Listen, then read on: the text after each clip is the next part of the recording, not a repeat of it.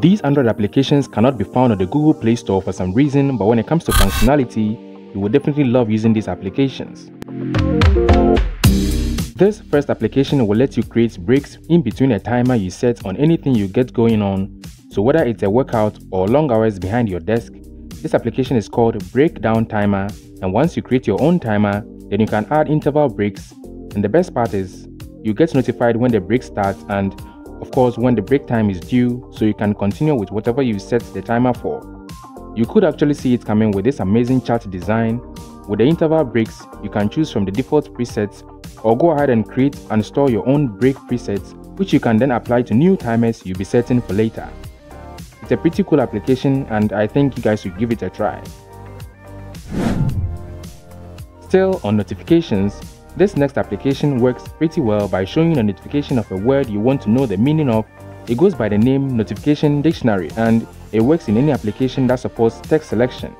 This way, whenever you are reading or you come across a word you need the definition for, you simply select the text, choose meaning, and you get a pop-up notification with a definition of the word in particular. The application works both online and offline, supports German and French once you download the database for it. Once you install and allow the necessary permissions, this app can be a very useful one in the long term. Then we have Symphony, a very clean and simple offline music player application. So if you use offline music players often, then this should be a must-have.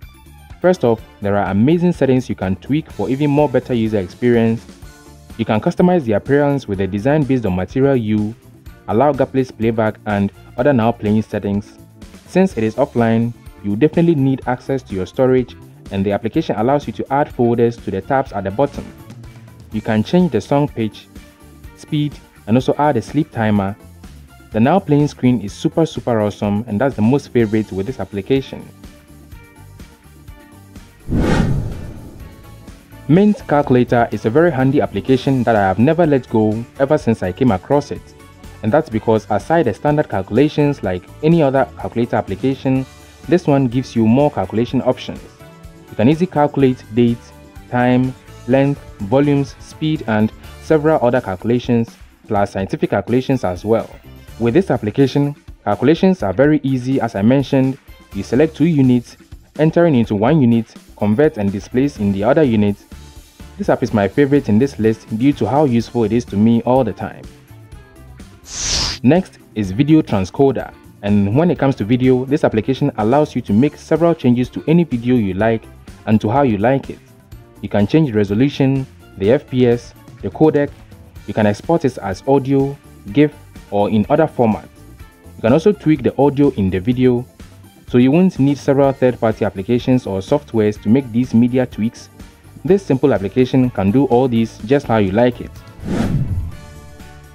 Whether you are home, at the workplace or at any place, this application will automatically tweak your smartphone sound profile.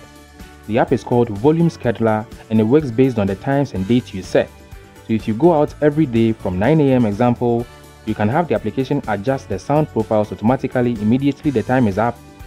You can set it to play a different ringtone, also change the system volumes to certain levels, and you will get notified before the automation is done. So just in case if you don't want that at that particular time, you can disable it.